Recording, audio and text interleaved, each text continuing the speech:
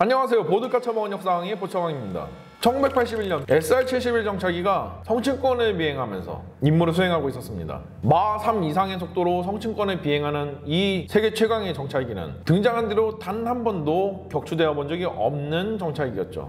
따라서 그날도 격추 걱정 없이 연례적인 정찰 활동을 진행하고 있었습니다. 그러나 난데없이 한 발의 미사일이 맹렬하게 거리를 좁혀왔고 곧이어서 조종석은 아비규환으로 변해버리고 말았죠. 대체 이게 어떻게 된 일이었을까요? 미국은 냉전이 시작되자 적국의 영공을 침투해가지고 정찰 비행을 해야 될 필요성을 몸소 느끼게 됩니다. 그래서 당시 미국은 전투기들과 대공미사일들이 도저히 따라잡을 수가 없는 정도로 높이 나는 정찰기인 U2 정찰기를 개발해가지고 공산권 국가들의 영공을 제집 드나들듯이 드나들면서 정찰을 하고 있었죠. 그래서 공산권 국가들의 각종 시설, 뭐 군사시설 이나 심지어 핵시설까지도 적나라하게 서방 세계에 노출되게 됩니다. 그러나 창과 방패의 싸움은 계속되는 법이죠. 미국이 마음 놓고 정찰을 해대자 소련은 몇 년 지나지 않아서 뛰어난 지대공 미사일인 SA-2 지대공 미사일을 만들어서 배치했습니다. 미국이 스파이들을 동원해가지고 이 대공 미사일의 스펙을 입수할 수가 있었는데요. 최대 고도 20km까지 상승이 가능해서 크게 걱정하지 않고 있었습니다.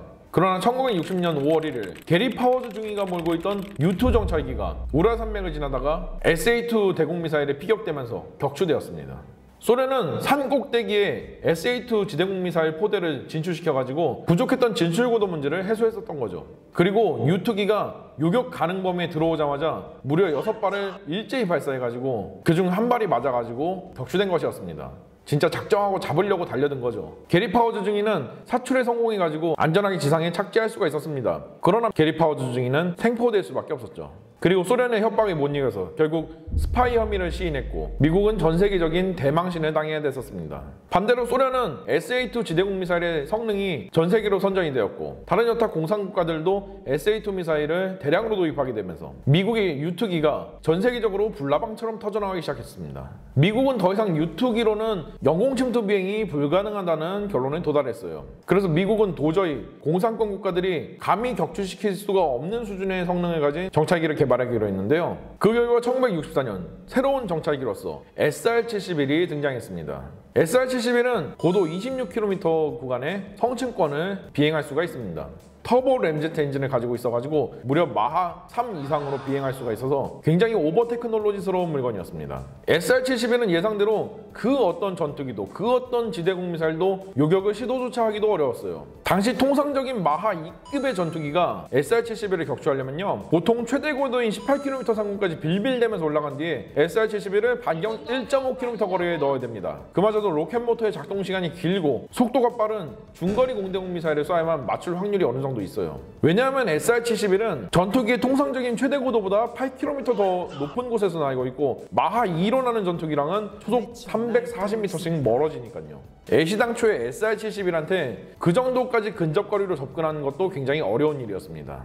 접근하는 전투기 상대로 그냥 최대 속도로 회피 기동만 해도 전투기는 SR-71을 따라잡을 수조차 없기 때문이죠. 미그-25 전투기 같은 최고 속도 마하 3.5까지 날 수가 있는 그런 전투기라면 요격을 시도라도 해보겠으나 미그-25 전투기가 마하 3 이상으로 날 수 있는 거는 그 엔진 하나 홀랑 다 태워먹으면서 최대 출력으로 한 번 딱 낼 수 있는 잠깐 낼 수 있는 순간적인 속도고요. 반면 SR-71 같은 경우에는 마하 3 이상으로 꾸준하게 순항을 할 수가 있습니다. 그래서 여전히 격추가 어려 운 거예요. 대공 미사일로는 지금 현재 쓰고 있는 고성능 거점 방공 미사일로도 SR-71의 엄청난 속도 때문에 SR-71을 한 30km 정도 안에 넣어야만 요격 시도가 가능한 정도거든요. 따라서 당시의 미사일로는 진짜 택도 없는 수준이었죠. 예상대로 U2랑은 달리 단 한 건의 격추 건수도 없이 잘 운영할 수가 있게 되었습니다.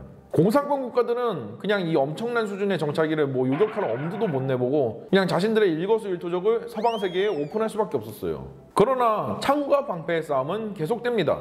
소련이 기를 쓰고 개발한 초고속 전투기인 미그-25 전투기가 엔진 하나를 홀라당 다 태워 먹으면서 SR-71을 격추 가는 거리에 넣고 위협 비행을 하고 사라지는 일이 발생했습니다. 근데 뭐 위협 비행을 하고 그냥 사라진 게 봐준 게 아닌 거로 현대에는 생각되어지고 있습니다. 왜냐면은 그때 당시 그 속도에서 레이더가 정상적으로 적기를 물고 미사일을 발사할 수가 없었기 때문에 미그-25가 미사일을 발사하지 못하고 그냥 돌아간 걸로 추정되어지고 있는 거죠. 애시당초에 미그-25가 낼 수 있는 마하 3.5라는 속도는요 서방에서 레이더를 이용해 가지고 측정해 본 결과 최고 속도가 마하 3.5다라고 나온 겁니다 그러다 보니까 이 레이더 자체도 마하 3 이상에서도 원활하게 적기를 추적하고 요격할 수 있느냐 이것까지는 보장이 안 돼 있었던 거죠. 하지만 미국은 소련에서 곧 있으면은 이제 SR-71 격추 사건이 한번 뜰 것 같다라는 불안한 기운이 감돌았습니다. 그래서 미국은 소련에서의 SR-71 운영은 적의 공군기지나 레이더 사이트를 철저하게 회피하면서 사각지대로 비행하도록 방침을 수정했죠. 그러나 그 이외의 국가들한테는 여전히 대범한 비행을 계속했습니다.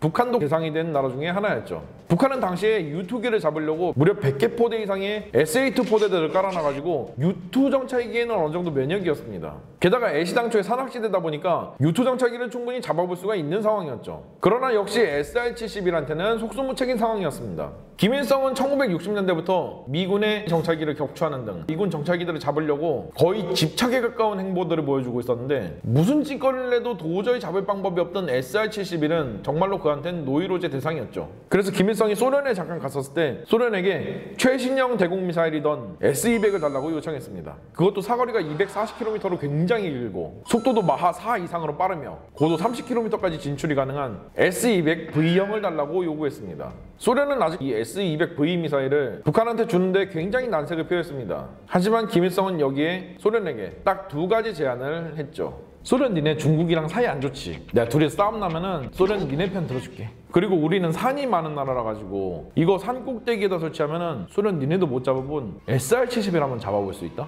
소련은 여기에 솔깃했습니다. 그래 소련은 어차피 큰 돈 들이는 것도 아니고 손 안 대고 코 푸는 거였으니까 셈 치고 그냥 딱 한 개 포대만 줘보기로 하죠. 그것도 철저히 비밀리에 제공해서 미국한테 깜짝 파티 선물을 주기로 합니다. 이런 과정을 거쳐서 지금 현재 우리 군에도 위협이 되고 있는 S-200V 장거리 지대공 미사일 포대가 1970년대 말부터 북한에 도입되기 시작했습니다. 뭐 많은 언론사나 밀덕들은 S-200V가 80년대 말에나 도입했다고 그렇게 이야기하는데요. 사실은 70년대 말부터 이미 선행 배치가 이루어지고 있었던 겁니다. 물론 그 수량은 딱 한 개 포대뿐이었지만 말이죠. 그리고 김일성은 싱글벙글 웃으면서 이 S-200 미사일을 SR-71이 주로 출몰하는 등장 지역에 산 꼭대기에다가 설치하기 시작했습니다. 그리고 깜짝 파티의 날이 밝아왔죠. 1981년 8월 26일 고도 26km, 속도 마하 3, 세상에 등장한 뒤 단 한 번도 격추된 적이 없는 SR-71 정찰기는 여느 때처럼 정찰 임무를 수행하고 있었습니다. 조종사와 정찰 통제관은 태평하게 목표 상공에서 사진을 찍고 있었고 둘은 장난스럽게 대화를 하며 평화로운 일상을 보내고 있었어요. 그러나 임무 도중에 알람 소리가 조종석 전체에 울려 퍼졌습니다. 적의 대공미사일 포대가 격추될 리가 없는 이 정찰기를 레이더로 조준했던 것입니다. 그러나 이들은 개의치 않았습니다. 실제로 임무 도중에 많이 조준당해 봤었는데 레이더가 아무리 이 무적의 정찰기를 조준해봤자 격추했던 적이 단 한 번도 없으니까요. 설사 미사일이 날아오더라도 미사일이 그 고도나 속도까지 따라가지도 못했고요.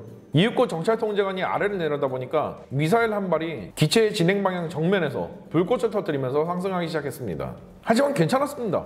이곳은 아무도 그 어떤 대공 미사일조차 올라와 본 적이 없는 고도 26km의 성층권이니까요. 그러나 미사일이 고도 20km를 돌파하고서도 계속해서 불꽃을 터뜨리면서 맹렬하게 거리를 좁혀오자 조종석은 곧바로 아비규환으로 뒤덮였습니다. 조종사는 진땀을 빼면서 본부에 북한이 고도 26km 이상까지 도달이 가능한 지대공 미사일을 보유하고 있는지에 대한 여부를 물었으나 본부에서는 그럴 리가 없다는 대답만 돌아왔습니다. 이제 그들이 할 수 있는 거는 최고 출력 으로 올린 다음에 최대 속력으로 비행하면서 저 미사일이 이 고도까지는 올라오지 않기를 기도하는 것뿐이었습니다. 조종사는 주먹을 꽉 쥐고 엔진을 최고 출력으로 올렸고 급선회하며 도주하는 코스를 잡았습니다. 그러나 미사일은 고도 25km를 넘어서도 멈출 생각을 하지 않고 기체를 추격해왔습니다. 조종석은 한 번도 경험해보지 못한 사태에 소리를 지르면서 패닉에 빠지고 말았죠. SR-71은 고고도 고속 성능에만 치중한 물건이라서 선회력이 매우 안 좋았어요. 게다가 하필이면 미사일은 진행 방향 정면에서 날아오고 있어가지고 사실상 회피가 불가능한 상황이었죠. 그렇게 충돌까지 3초, 2초, 1초, 삶이 주마등처럼 스쳐 지나가던 찰나 측면을 바라보니 미사일이 흰 연기를 내뿜으면서 기체를 추월해 가고 있었습니다. 정말 운 좋게도 미사일이 기체를 맞추지 못했고 근접 신관도 작동하지 못할 만큼 애매한 거리를 두고 멀찌감치 스쳐 지나간 것이었죠. 이들은 안도의 한숨을 쉬었지만 미사일이 기체를 추월하고서도 한참을 더 날아가더니만 기체보다 더 높은 고도에서 자폭하는 걸 보고 침이 꿀꺽 삼켜졌습니다. 그들은 충분히 격추가 될 수 있는 상황이었으니까요. 따라서 추가적인 격추 위험을 피하기 위해서 이들은 본부에 임무 중단을 요청했습니다. 곧이어 임무 중단이 승인되었고 곧바로 기지로 기술을 돌려서 복귀하면서 기나긴 비행을 마무리하게 되었습니다. 이 사건은 후일 공개되자 세계에서 가장 빠르고 높이 날 수 있는 SR-71조차도 강대국 소련도 아닌 북한에서 요격당한 사건으로 대서특필되었습니다.